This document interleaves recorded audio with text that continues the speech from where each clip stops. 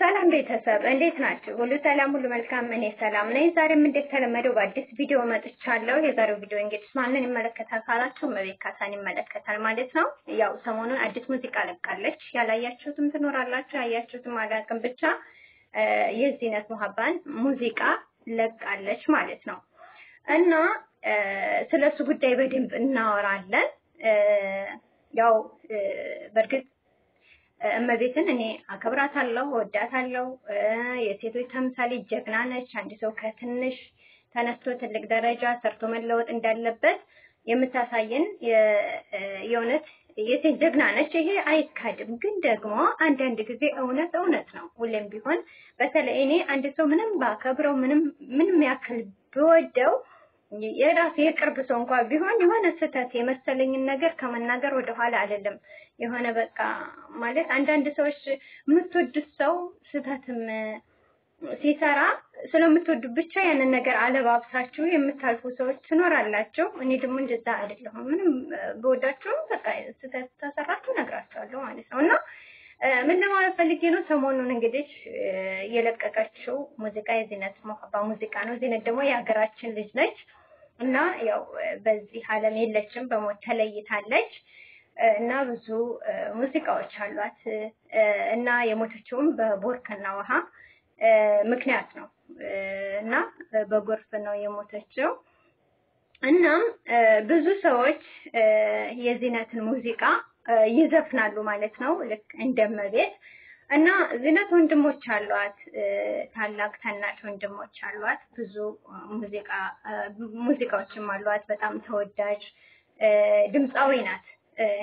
እንዲህም ቴክኖሎጂ ምንም ባልበዛበት በራሷ የተለየ ድምፅ አላት እና ይህን ያክል የሙዚቃ አድናቂ ባልሆንም ግን ያው መብት መብት ነው እና ከፍትህ መራቅ የለብንም እና ወንድሟ በተደጋጋሚ ሲናገር ምን ይላል?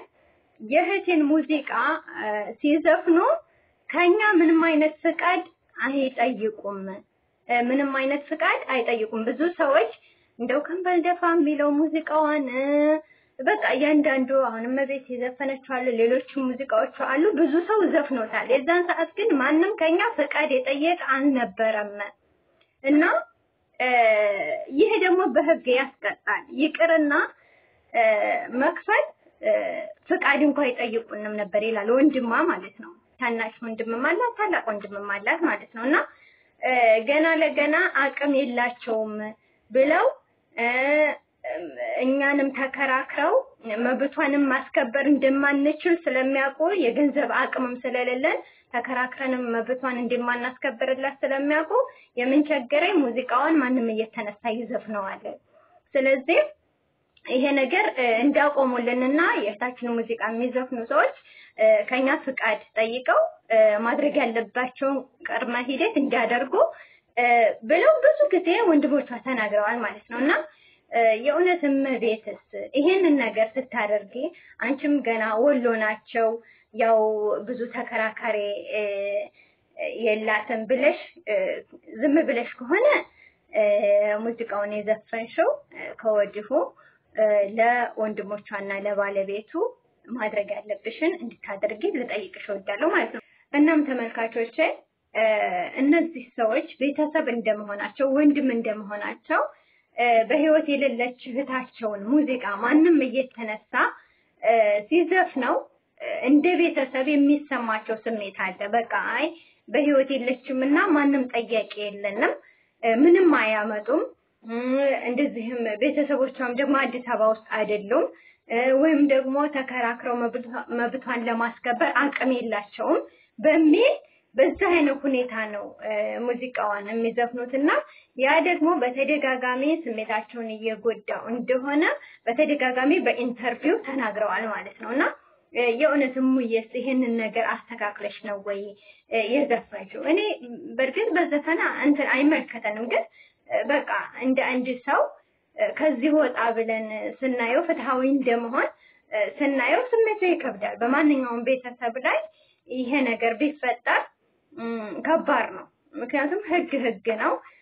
አንዱ ተፈርቶ አንዱ ተከብሮ አንዱ ደግሞ ችላ ተብሎ የሚታለፍበት አይደለም። በቃ ህግ ከሆነ ህጉን ማንኛውም ሰው ላይ ማክበር አለብን።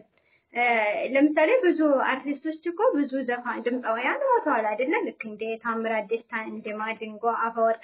አሁን የእነዚህን የሰዎችን ሙዚቃ የእውነት ማንም ሰው ሳያስፈቅድ ቤተሰብ ሳይፈቅድላቸው ማንም ሰው ተነስቶ አይዘፍነውም። ምክንያቱም በቃ በህዝብ በህዝብ ውስጥ ትልቅ ቦታም ስላላቸው ቤተሰቦቻቸውም በቃ መብታቸውን እንደሚያስከብሩላቸው ስለሚያውቁ የማንንም ሙዚቃ በህይወት የለም ተብሎ ማንም እየተነሳ አይዘፍነውም። ግን እቺ ልጅ ወሎዬ ናት። በቤተሰቦቿ በአቅም ደከም ያሉ ናቸው።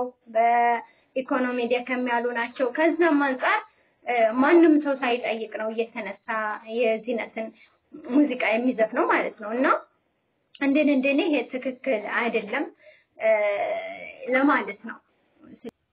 ከዚህ ውጭ ግን እመቤት በጣም ቆንጆ አድርጋ ነው የዘፈነችው። በጣም በሚገርም ድምፅ ነው የዘፈነችው። የተፈጥሮ ድምጿ በጣም እሙዬ በጣም ውብ ነው። በነገራችን ላይ ካለምንም መሳሪያ ባለፈው ላይቭ ላይ ሆና ይህንን ሙዚቃ እየዘፈነችላቸው ነበረ ለተመልካቾቿ ማለት ነው፣ እየጋበዘቻቸው ነበር እና ቀጥታ በ live ስርጭት ራሱ ምንም መሳሪያ ሳይጨመርበት በተፈጥሮ ድምጿ ራሱ በጣም ነው በተለየ ሁኔታ ስትዘፍነው የነበረው እና አሁን ደግሞ በበለጥ በማጀቢያ እና በመሳሪያ ሲሆን ደግሞ የበለጥ ውብ አድርጋ አቅርበዋለች እና በጣም የተለየ የሚያምር ድምፅ ነው ያላት ማለት ነው። ያው ይሄንን ማስተላለፍ ስላለብኝ ነው። ውድ ቤተሰቦቼ እንግዲህ ለቻናል አዲስ ከሆናችሁ ቤተሰብ መሆናችሁን አትርሱ። ላለው ሰላም ሁኑ። በሌላ ቪዲዮ እስከምንገናኝ ድረስ መልካም ቆይታ